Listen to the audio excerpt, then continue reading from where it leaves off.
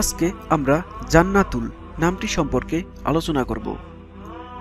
আসসালামু আলাইকুম দর্শক, আপনারা দেখছেন আবদুল্লা দিদি অনেকেই প্রশ্ন করেছেন যে জান্নাতুল নামটি রাখা যাবে কিনা বা এর অর্থ কি। ইসলামে সুন্দর নাম রাখার ব্যাপারে তাগিদ দেওয়া হয়েছে।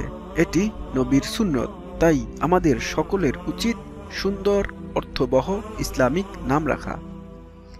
যদি প্রশ্ন করেন, জান্নাতুল কি ইসলামিক নাম? হ্যাঁ জান্নাতুল নামটি ইসলামিক নাম। মুসলিম, মেয়ে শিশুর জন্য আপনি যে নামগুলো রাখতে পারবেন, তার মধ্যে এই নামটি একটি উল্লেখযোগ্য নাম।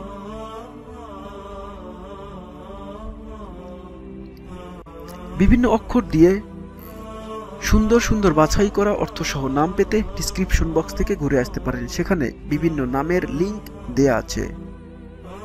জান্নাতুল একটি মুসলিম মেয়ে শিশুর নাম। J A N N A T U L এভাবে ইংরেজিতে লিখতে পারেন। আপনাদের কারও নামের অর্থ জানতে কমেন্টে নামটি লিখে সাবস্ক্রাইব করে রাখুন। আমরা ইনশাল্লাহ জানিয়ে দেওয়ার চেষ্টা করব। জান্নাতুল নামের অর্থ হচ্ছে জান্নাতের বাগান।